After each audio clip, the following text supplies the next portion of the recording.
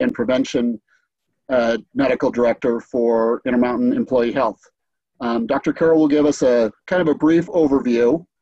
Then we're, then we're also pleased to be joined by the Utah legislators um, from the Southern Utah area, uh, Senator Don Ipson, Senator Evan Vickers, uh, Rep Representative Walt Brooks, Representative Brad Last, Representative Travis Seegmiller, Representative Rex Shipp, and Representative uh, Lowry Snow. Each of the each of these gentlemen will give a, a brief comments after Dr. Carroll.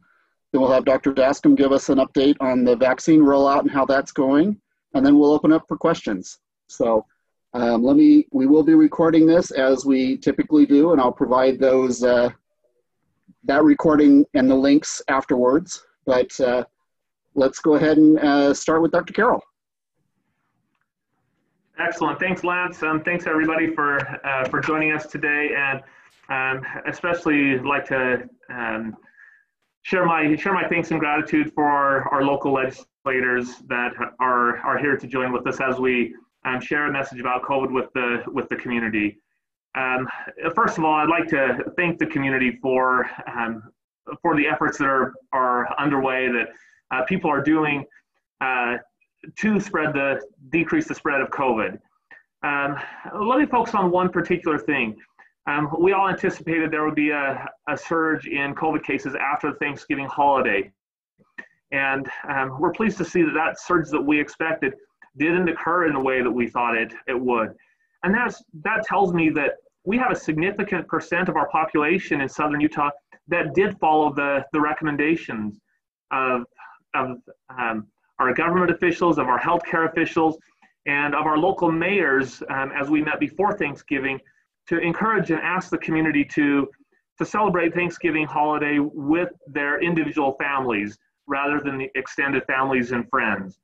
Um, thank you to the members of the community that, that did that. Thank you to the members of the community that followed those recommendations, followed that advice uh, so that we can um, prevent hospitalizations and prevent uh, negative outcomes among some that we are seeing that that have uh, that uh, do get COVID. Um, what you're doing is making a difference, and um, and that's really really important. And we're extremely grateful from the hospital standpoint. Um, and our goal is to help everybody live the healthiest life possible. Um, I want to to take just a minute as well to share um, some information about uh, COVID testing with the Intermountain testing site. And there will be some uh, some limited hours during the during the Christmas holiday and New Year's holiday. Um, and if we haven't sent this out already, I'm sure we can send it to you with specifics. But Christmas Eve, the Southwest Utah sites uh, will open at the regular times on Thursday, December 24th, and they'll close at noon on Christmas Day, all of our Southern Utah um, testing sites will be closed.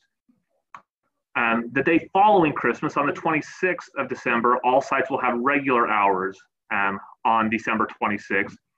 Then on New Year's Eve, uh, will be regular hours, but New Year's Day, the sites will be closed. So no Intermountain testing sites in Southwest Utah open on Christmas Day and New Year's Day um, we will be open Christmas Eve and the day following Christmas, and limited hours on on Christmas Christmas Eve.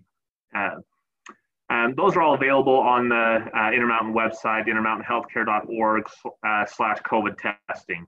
Um, from a hospital standpoint, um, it was a bit sobering this morning when I um, checked our, our COVID numbers, and, and unfortunately, we once again um, set a, another uh, record number of hospitalizations.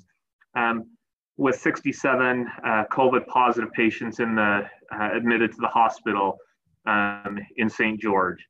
Um, our ICU census, we've shared with um, with uh, our local media that our ICU, we have 32 ICU beds.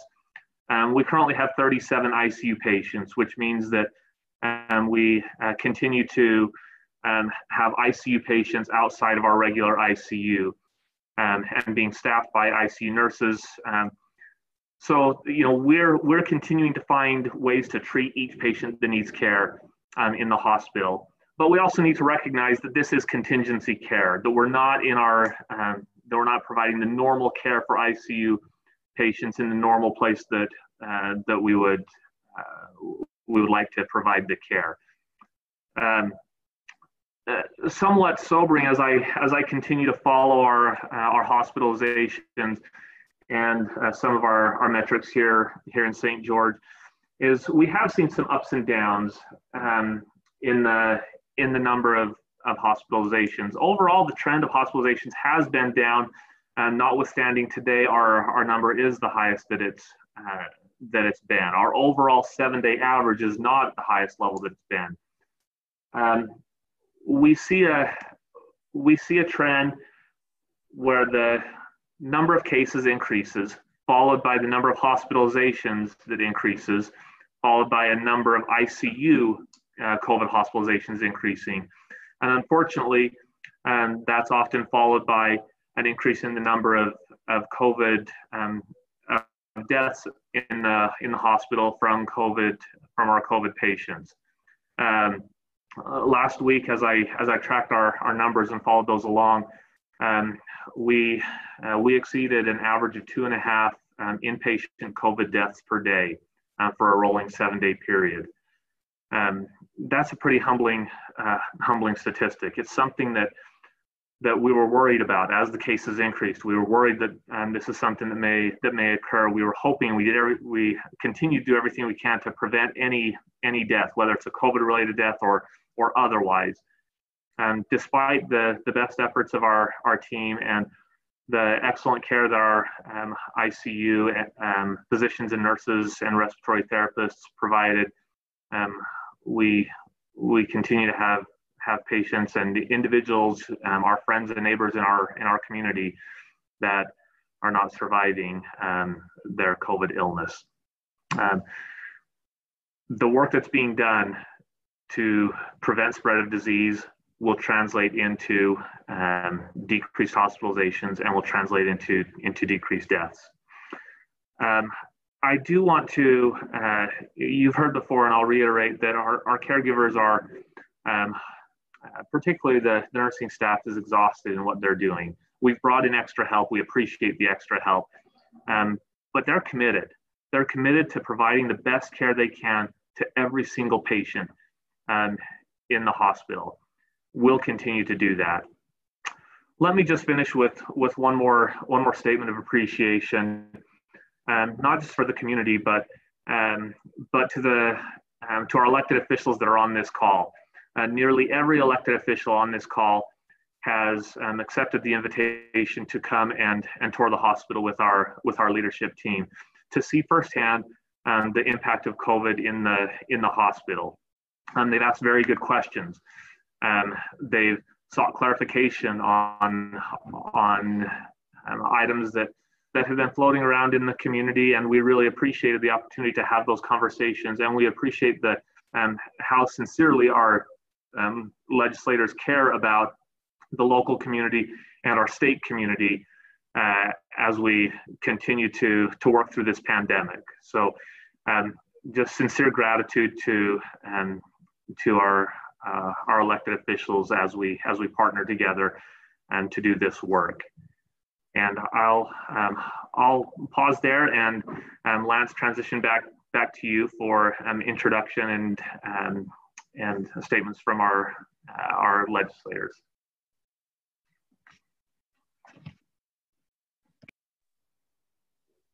Thanks, Dr. Carroll. Okay, let's go ahead and start with uh, Senator Don Ipson and then uh, we'll have uh, Senator Evan Vickers uh, after him. Good afternoon. I'm pleased to be with you folks and share a few minutes with you. It, this is a this is a troubling time that we've been through, and you know we've worked hard to. President Adams, the president of the Senate, is, is kind of led out with this from political standpoint to help guide a process that kept us so that we were healthy, but yet didn't shut the economy down. And I'm grateful to him for the, the input he's had. But I, you know, they mentioned that we toured the hospital, and that was pretty sobering for me. It was to see the the the intensive care unit expand into the other areas and the other wings of the hospital, and we're the statistics are using those beds today.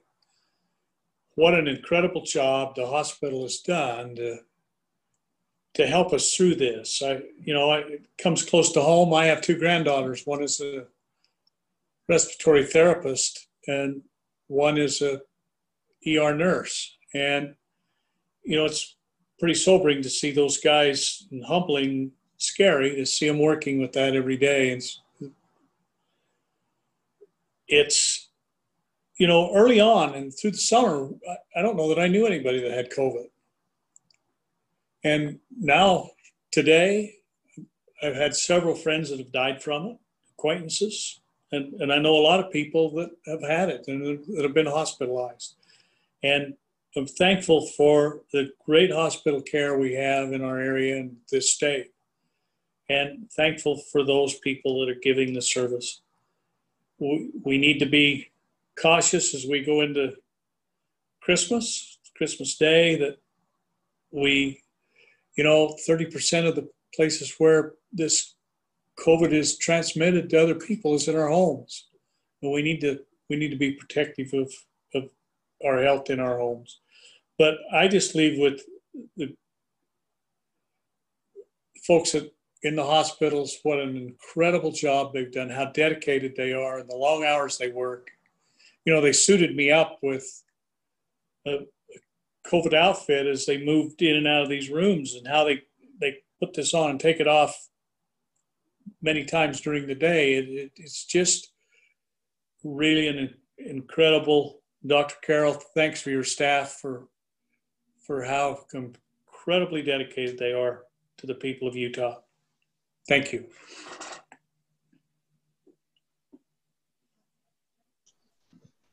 Hi, I appreciate the opportunity to be with you today. Um, I'm like Don that, you know, I echo the thanks to our legislative leadership, uh, both in the House and the Senate and the, and the executive branch with Governor Herbert and his staff. But more importantly, here in Southern Utah, you know, our medical people. And I'm a medical professional. I'm a pharmacist. We own three pharmacies, uh, two in Cedar, one in Richfield. One of our pharmacies is now doing the, the rapid testing. And so we've been involved with that. So it's been interesting for me to be involved on a number of different fronts. I sit on the hospital board here in Cedar City. You know, I'm a pharmacist. We have, we're involved in the treatment of patients. And then also having uh, being a legislator. So you know, it's, it's been quite involved, and it's it's really been busy. I've I've tried to become a little bit of a COVID nerd, trying to learn as much as I can about the disease and and about uh, other things that are going on, and, and some of the some of the things that are being tested, some of the philosophies, and some of the the theories that are being tested, and it's really been intriguing to me. But um, I, like I say, I've been through the Cedar City Hospital a number of times because I'm here. We don't have a trauma center like they do here in Dixie with, you know, St. George Hospital. But, um, and so it was a really good opportunity for me to get with Dr. Carroll, uh, who's a family friend, and to go through the through the hospital down there and, and look at it. it you know, there's two two takeaways that I had from that. One is the just the the toll it takes on those caregivers. And Dr. Carroll talked about the fact that when a patient passes away in the hospital, oftentimes that caregiver, that nurse and the physician, are the only ones there. Uh, you know, family usually can't come in, uh, and so they're they're there with that patient when that patient passes, and and also how what a strange disease it is that uh, you know one a person can be coherent and talking to you, and 15 minutes later actually be uh, be dead. Um, and the other thing, it's been such a strange political climate around COVID, you know, whether it be about wearing a mask or all the, you know, the theories that you hear and these conspiracy theories that every patient is being is being coded as COVID so the hospital can get more money, you know. And, and I asked Dr. Carroll about that, and uh, he said, well, we do get a little bit more i think it's 30 40 bucks a day from medicare if, if that patient came in specifically for covid but if it's a secondary source then no. But he says put this in perspective. At the time that i went through they have and he mentioned they have 32 icu beds but they had 47 icu patients. And he said we had to convert one of our orthopedic wings into an ICU for COVID patients. And he said, now if you compare the, the money we get from a COVID patient versus the money we would get off of that per bed off of an orthopedic wing, is not even close. It's four or five times more with, with orthopedics. So, you know, I just, it's, it's been frustrating in a lot of ways to see the various uh, theories with social media and other things. The disease is real, uh, but I think that we need to keep a balance in our life, make sure that we're keeping the economy open and keeping people thriving and still going that way, but then also being protective. And so, in our businesses, our, we have retail businesses, and I, I appreciate the fact that just very seldom do you ever see a patient, a person come into our store without a mask on. And so I think that backs up what Dr. Carroll said in his opening statement that it does appear that people in Southern Utah are being more careful. So thanks, thanks to everybody that uh, has been involved in this, especially with our hospital caregivers and others that are on that frontline care, whether they be in a nursing home or whether it be home health or, or whether they be in the hospital. So thanks.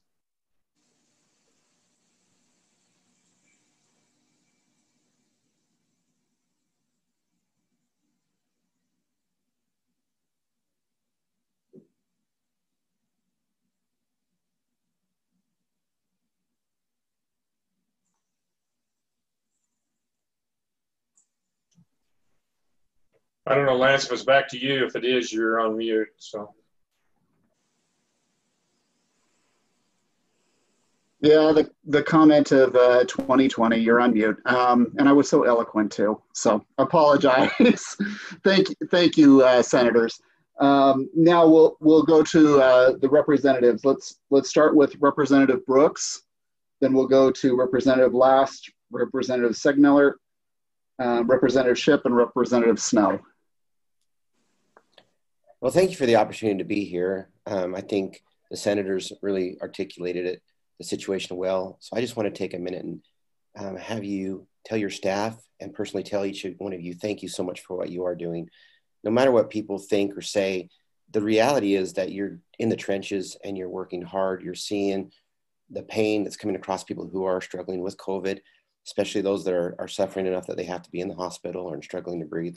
I can't imagine um, that type of feeling or situation. So thank you for all of you and what you are doing. And thank you again to the administrators who are open and honest with us as we have questions come from constituents that um, question some of the data that we're able to go and double check and, and get real answers and take the time to um, understand the situation better. So thank you very much and hope you all can have a Merry Christmas even this time of struggle. Thank you. Yeah, I'll join with everybody else and say thanks for the chance to be here. Uh, I'm not sure how much we can help going into the Christmas season, uh, encouraging people to uh, do what they can to help protect others, but uh, whatever we can offer, we're happy to do that. Uh, I'd also like to just recognize a few people and express gratitude uh, for them, I guess, groups of people really because I think they've made such an amazing difference to uh, our state during this really challenging time. First of all, is the educators, uh, both public and higher ed. I mean, we've been able to keep our schools uh, going during this pandemic. And I know that it's put an incredible amount of pressure on the teachers and on the staff uh, at the schools. And I just want to say thanks to all of them. Of course, I work at Dixie State University. I've seen it up close and personal and uh, we've tried to stay open and keep our keep our uh, students in class as much as possible. And I know that that's that's been an incredible effort on the part of hundreds, thousands of people really throughout the state. Uh, also, want to recognize uh, businesses. I know many businesses are really hurting, uh, but it's been amazing to, to me to watch how businesses have adapted during this challenging time. I mean, there have really been some some unlikely businesses that have been thriving during this period of time, and I think it's uh, it's been amazing to watch the human ingenuity as people have tried to continue to serve the, their customers and, and the population of the state through their businesses. And I just encourage them to, to stay with it and to keep being creative and do what they can to support the economy in the state. Uh, my colleagues have talked about healthcare workers, and uh, boy, we just we really can't can't say enough uh, about that. Of course, I come from a family of healthcare workers, and uh, Uh, none of them have been too directly impacted because they're not working in the emergency room or in the ICU, but certainly we've we've had our connection to it uh, indirectly through them. Um, and uh, like my colleagues, I had the chance to go through the hospital and and just see firsthand what that looked like. Uh, and and on the orthopedic floor, which has been converted into ICU beds, uh, ran into a family friend, a young man who's a nurse, and uh, just had the chance to ask him, tell me about, tell me about a, a, given day in the hospital and what's it like. And as others have said, uh, he talked about the the challenge, the emotional challenge of working in that situation. Not only putting on the gear every time you have to go in a room, but really being the contact that that patient has with the outside world. If a family wants to talk to that patient, they go through the nurse and the nurse is trying to, to uh, interpret back and forth, especially for those patients that can't talk, trying to set up FaceTime or Zoom or whatever. So they become technologists as well. And uh, I just want to express my gratitude from the administration all the way to the to the aides that are that are in the rooms and working with the patients. Uh, thank you so much for what you're doing. We really appreciate that. And uh, want to just say thanks to the citizens, especially of this area, who are doing what they can to help. That's been mentioned by my colleagues as well. Uh, I've been able to avoid COVID and to whatever extent that's been because the people around me have been careful. I just want to say thanks to them, but really thanks to our society. And I, I thank you on behalf of my, uh, my eight-year-old granddaughter that has cystic fibrosis and who is really at risk if she uh, has a problem with her respiratory system. I thank you on behalf of my mom, who's 88 years old and uh, who, who, we need to see to take care of, and on, uh, on behalf of all of the other people who have any kind of health risks. Uh, what you, what we as a society are doing is helping, and the little things that you do to try to protect yourself and others can be beneficial as my colleagues have said, this is real. I had a neighbor recently who went into the hospital, was diagnosed with lung cancer on Monday, and died of COVID related illness on a Thursday. And, uh, you know, those, those kinds of things are hard to see. And I just want to express my gratitude to all of those who are doing what they can to make the situation better for those who are ill and for those who are helping to keep everybody safe. Thanks.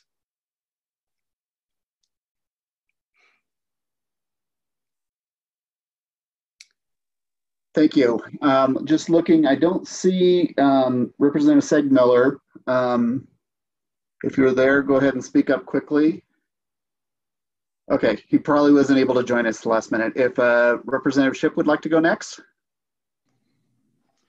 Yes, thank you for this opportunity and really grateful for the opportunity I had of uh, taking the tour of the hospital there in St. George with uh, uh, Dr. Carroll. Dr. Carroll grew up around the corner from my family, and so we know his family very well. Wonderful young man.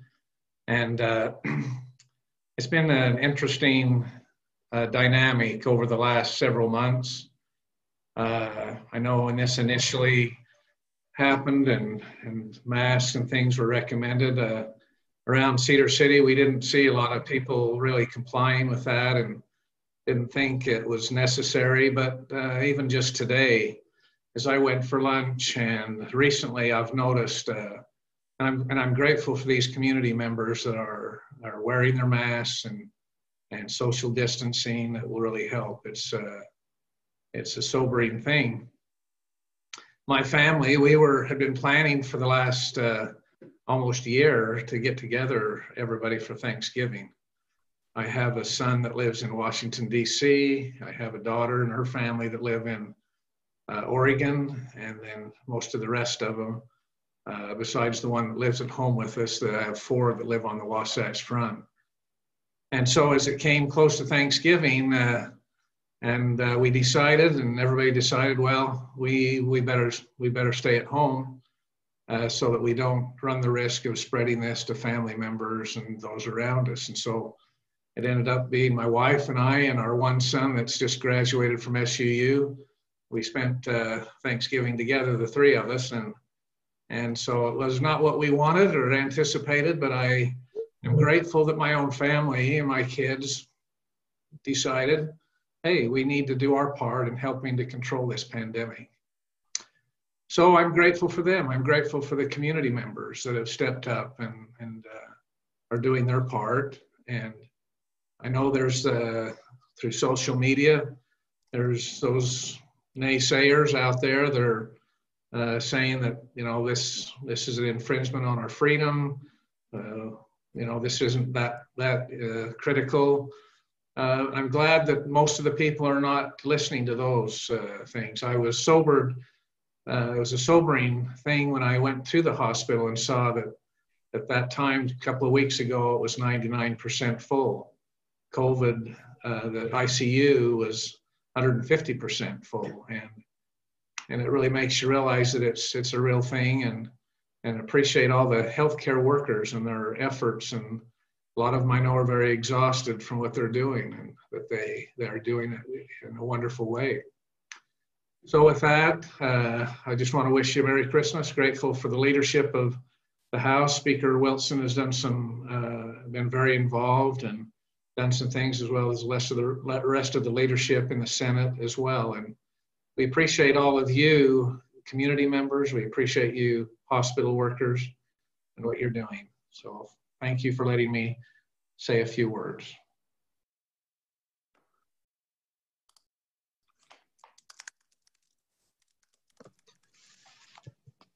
I guess it's uh, I guess it's my turn. Uh, let me um, also begin by uh, thanking uh, Dr. Carroll and those who you work uh, with for calling this uh, event and allowing lawmakers to speak. Um, and thank you, Dr. Carroll, for uh, giving us an opportunity to tour uh, your facility, the hospital. like everyone else who has spoken today, um, when you actually see it and you talk to the medical providers, those that are working there, and you find out what uh, to what lengths we've had to take in our community to provide for those who are ill and suffering from this, uh, it is sobering. Uh, and also, uh, as you count the numbers we've lost uh, in our state and in southern Utah, and uh, some of those represent people that we know. Um, it's real, and the pandemic has taken people's lives uh, and and we need to continue to be vigilant. Um, lots of folks, or lots of my colleagues, have uh, conveyed uh, thanks to our, our, frontline providers, our medical providers. Uh, I would like to to express my thanks as well uh, to to everyone that has helped uh, contain this pandemic, but especially today. I want to thank the people in the community in southern Utah and all over the state, but southern Utah where we see it, I've noticed uh, like uh, like uh, Representative Shipp that there seems to be a change uh, in the climate and the attitude. I see more people willingly put on their masks. I see more people willingly to make sacrifices. This was a hard Thanksgiving for my wife and I because this was supposed to be the one in rotation when we had all of our six children all of the grandchildren. And there's no, uh, there's nothing quite like getting everyone under uh, your roof on Thanksgiving for Thanksgiving dinner, uh, and and giving that up and sacrificing that was hard. Um, but we too felt like that it was a sacrifice that we needed to make to do our part. And I know we weren't alone.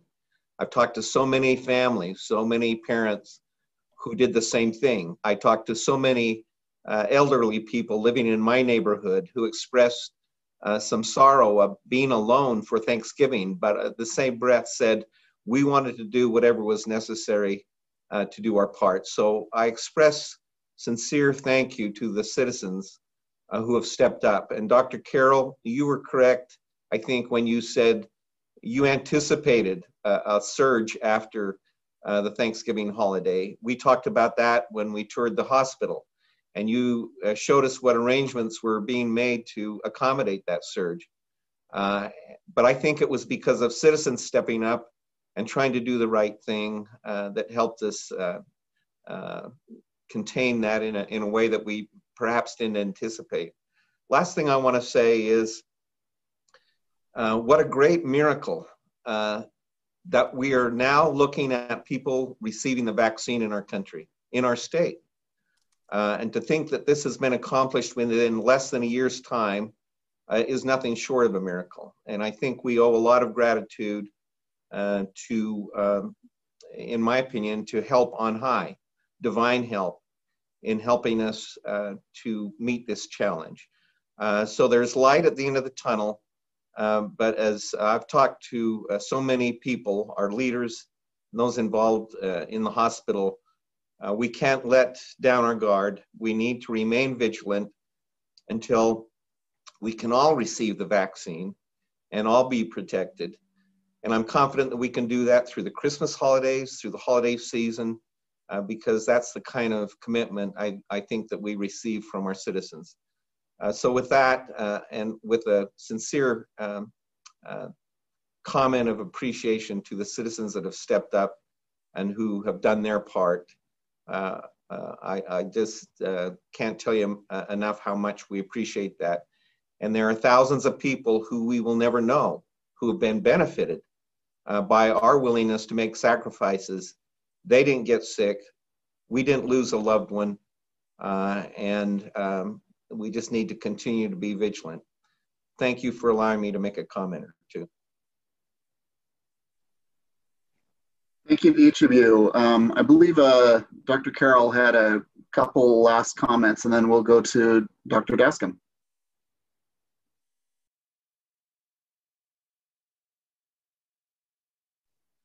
Dr. Carroll, you're muted.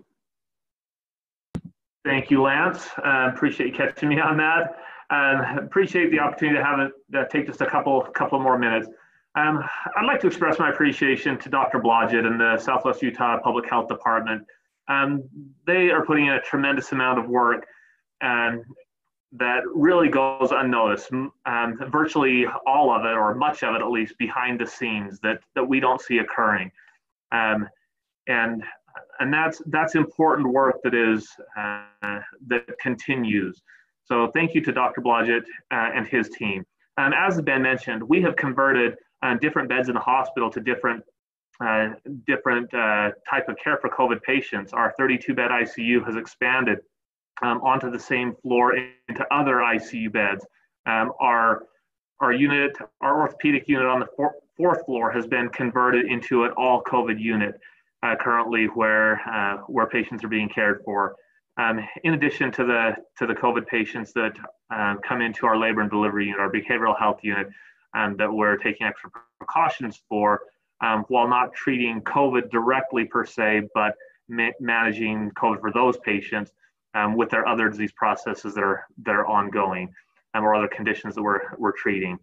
I would I would simply like to end by asking you to join me in continuing the work that that you're doing. Join me in uh, your Christmas celebrations like you did for Thanksgiving, to enjoy those with your immediate family. And we can have a wonderful Christmas as well.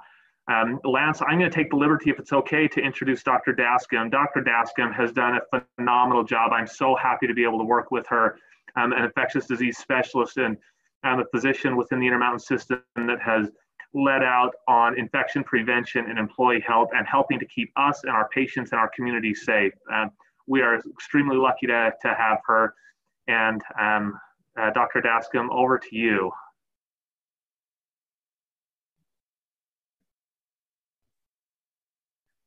And you two are on mute, Dr. Dascom. Amazing how that works. Apparently not good enough to match the wits with technology, but thank you so much for that very warm introduction. Um, Intermountain Healthcare is grateful to be able to announce that we have now vaccinated approximately 5,000 of our caregivers.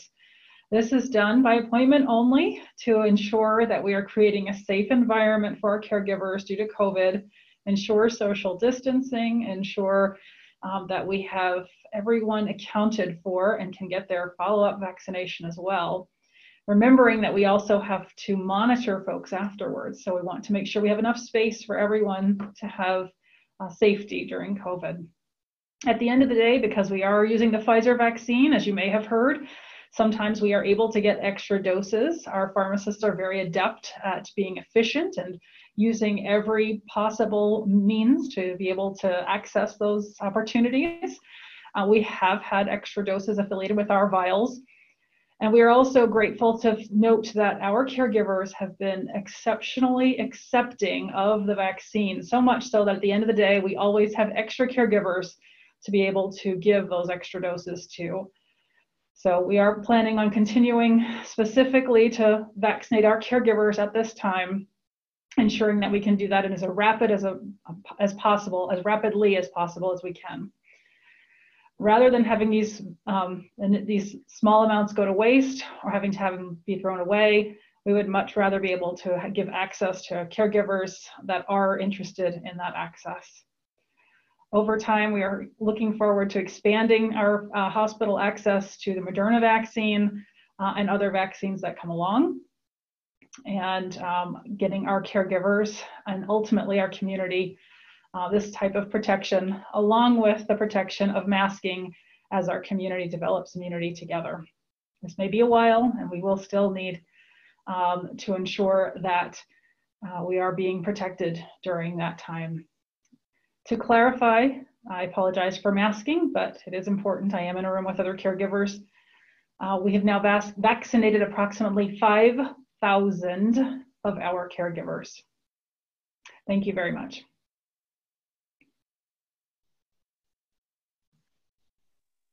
Thank you, Dr. Dascom. And now, as is usual, we'll go ahead and open for questions. If you would um, please um, unmute yourself, introduce um, yourself, and then um, ask your question. And if it's directed to someone specifically, uh, go ahead and do so. Hi, this is Chris Reed with St. George News, and good to see everybody again. Um, I'd like to actually uh, start off by directing a, question towards uh, certainly um, either Representative Snow, uh, State Senator Vickers, whoever represents the Cedar City area. Um, we we had late October um, where Cedar City had gone down for a little bit, so the mask requirement was lifted. And leaders had been pushing for the area to quote unquote go green back when we had that color system. Then the November surge came, and at this point, Cedar City's new infections on one day equaled St. George's, and they're still experiencing a rise. Was it a mistake to take the foot off the brake pedal in that case?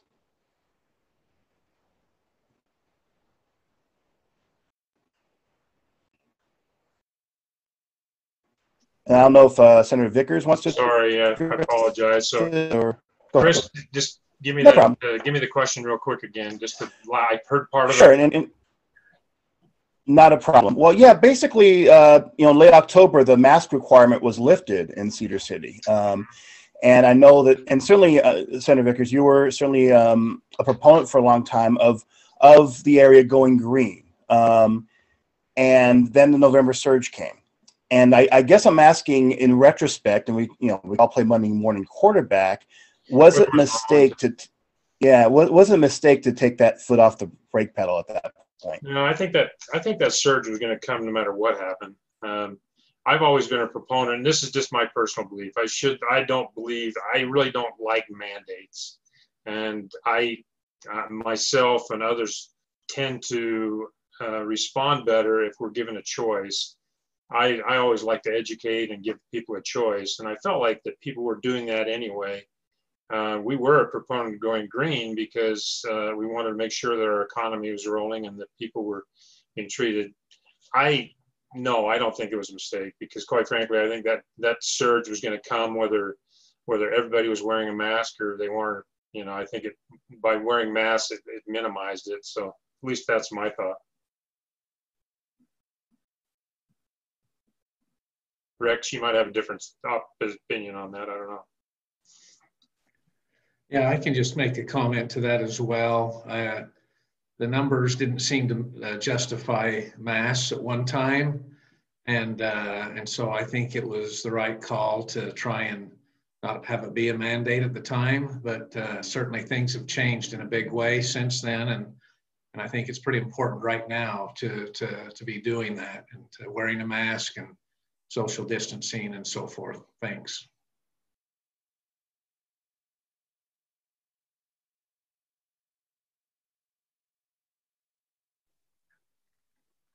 Thank you. Uh, next question.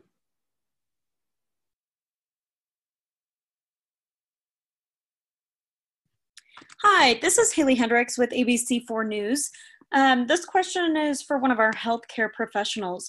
So, the state of Utah, along with other national research, has created vaccine trackers online for the public to see how many vaccines have been administered daily. So, what value do these vaccine trackers add to health officials and that data there, and even the public? This is Dr. Dascom. I can answer that question.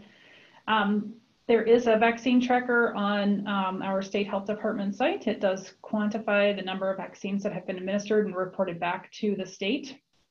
We as a system are supporting that by um, reporting the number of vaccines we have administered at the end of the day. This also helps us keep in compliance so that the state knows how many vaccines we administer so that they can supply us with the second dose for our caregivers and ultimately our community. Um, this should help our state with further planning that helps them know how many caregivers have been administered. They know how many caregivers there are. They also have, are starting the process of planning each age group, for example, or those with comorbidities to ensure that we are getting um, enough vaccine over time planned ahead. So as we, if they know how much is being utilized, they can plan ahead to ensure that the next cohort is ready for rapid vaccine administration. So I think in terms of the public's benefit, um, it will ultimately lead to rapid vaccine dis dissemination um, and benefit to our community. Thank you so much for that. Haley, if I might add to that uh, briefly as well, I think one of the things that we have to be cautious about is we run the risk as a society of seeing that number go up um, and think that we're um, safer than we actually are it's important to remember that you know the state of Utah has you know over three million um, residents, and so it's super exciting to see vaccines roll out. And I agree with uh, Representative Snow that this is you know nothing short of a miracle to have this have this occur as quickly as it did. When we see 5,000, 10,000, 20,000, 50,000 um, individuals uh, vaccinated on that tracker as that goes up, we need to put that in perspective. Um, I did I did a calculation recently for southern for southern Utah for Washington County, and calculated that we were at 0.25 percent of our population vaccinated. I'm super happy that that that occurred. Um, we're this is this is the beginning. We're not at the end yet, and so we need to continue to do what it, what we're doing um, while we while we work through this process to give everybody the opportunity to be vaccinated that would like the vaccine. Thank you for sharing.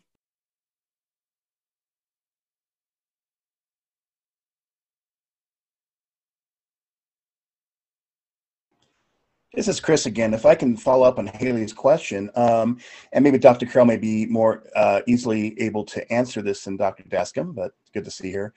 Um, do we know how many of uh, Dixie Regional's caregivers specifically have been vaccinated at this point? And are we getting close to the point? Um, like, when are we going to be at the point where we feel like, okay, we've got the frontline caregivers taken care of? And I know that teachers were supposed to be uh, next up on the vaccinations. Um, when are we going to be at that point where we move on to the next uh, phase, so to speak, of vaccinations? Yeah, excellent question, Chris. Um, we um, in St. George have received, uh, or at and Dixie Regional Medical Center have received 975 uh, vaccinations. As, as Dr. Dascom mentioned, um, our pharmacists are able to draw up the, um, the right dose of vaccine for more than five doses. So we have, uh, we have administered um, just shy of 600 um, vaccines at this point in, in St. George.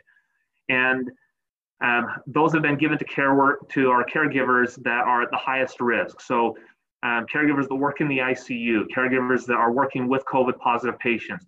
That includes physicians, that includes nurses, that includes our um, environmental services um, workers that are cleaning the rooms, that includes our food services workers that are delivering food um, to, to COVID positive patients. It includes our emergency department and a, and a host of other, other individuals and, and groups. And so we've been very deliberate and very thoughtful um, under Dr. Dascom's leadership and others to to have a, a consistent process as we as we work through this. Um, I can't tell you, Chris, how many um, physicians have reached out to me that are not in uh, the, that it's not their turn yet, and saying, uh, "Dr. Carroll, when do I when do I get my turn?" Um, our physicians um, have have read the research. Our physicians have looked at the data, and they're excited uh, to get this vaccine, and they are getting this vaccine. To answer your question about about school teachers and others in the community, um, um, I don't have a date, although um, I know that Dr. Blodgett and the health department is working diligently uh, to uh, to get those uh, to get those plans underway. Um, I um, in my let me switch hats for a second. My role as uh, a member of a school board um, here in St. George, um, we've been in in conversations uh, to get the teachers of that school immunized um, uh, as well and and those those plans are are underway, um, led by the the health department um, with Dr. Blodgett and team.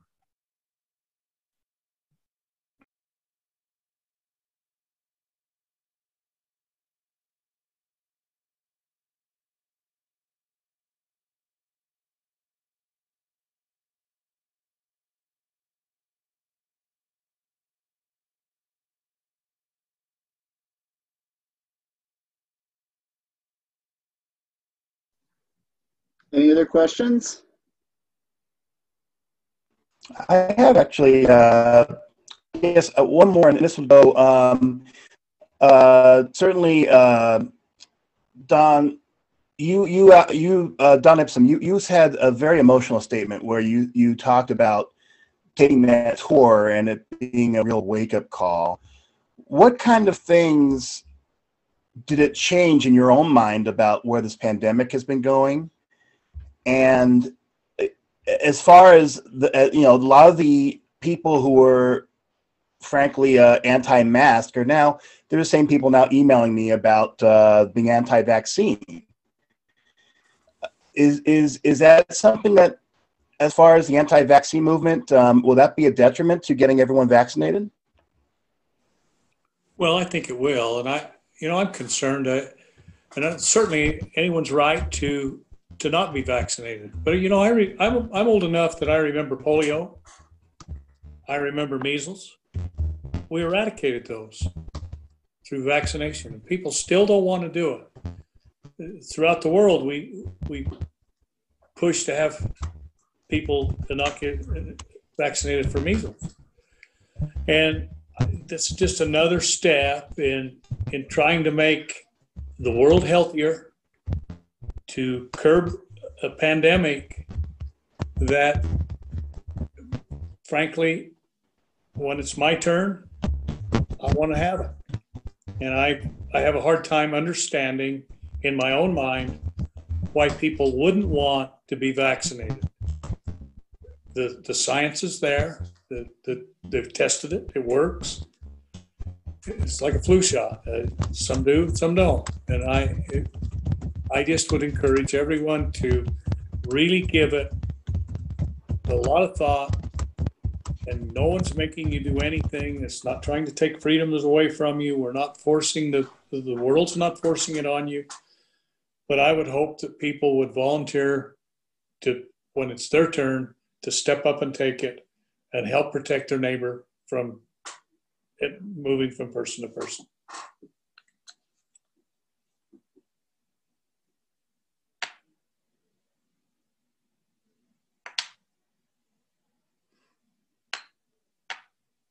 And if I can follow up with Dr. Carroll, um, you know, you, you mentioned today uh, hospitalizations. I think you said 67. Um, and, you know, there's been, so to speak, a breakdown in terms of new infections.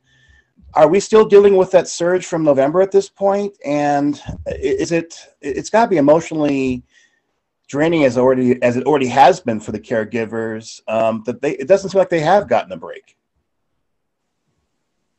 Yeah, great question. The um, the number of cases that we see, or the number of hospitalizations we see, we know take time. That that doesn't happen immediately after after infections, and it's, it's what we call a lagging measure. And so that's what we're that's what we're seeing.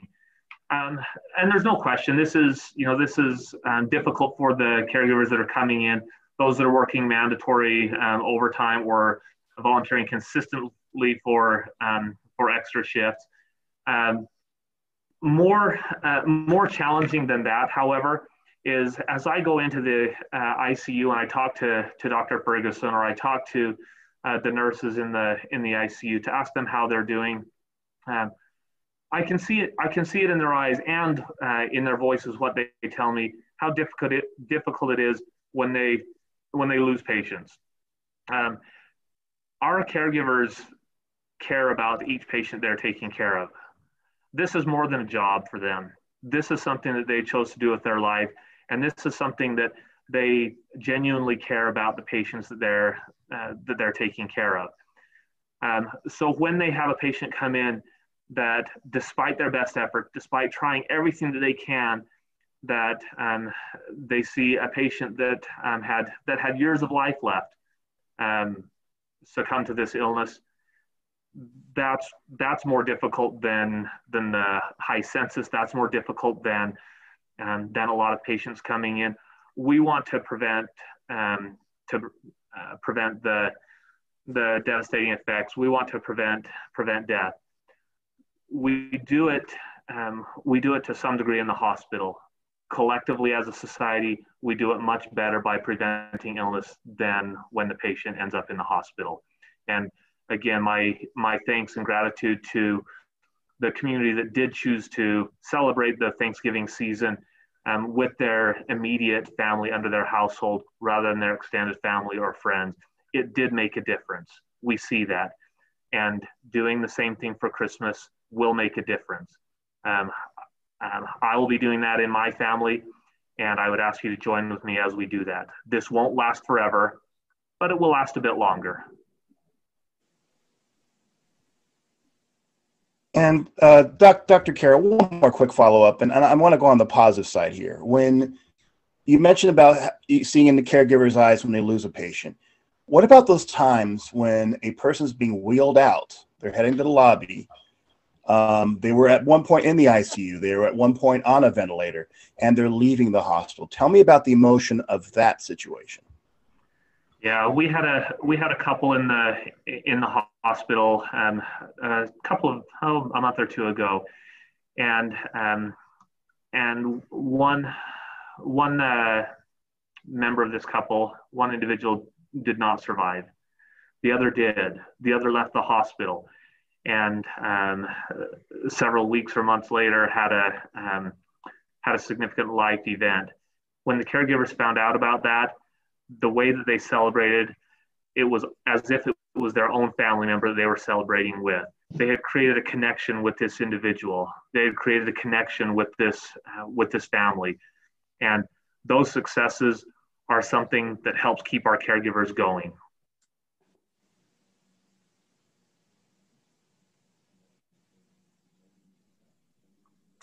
Thank you. And I think uh, Christina Flores has a question.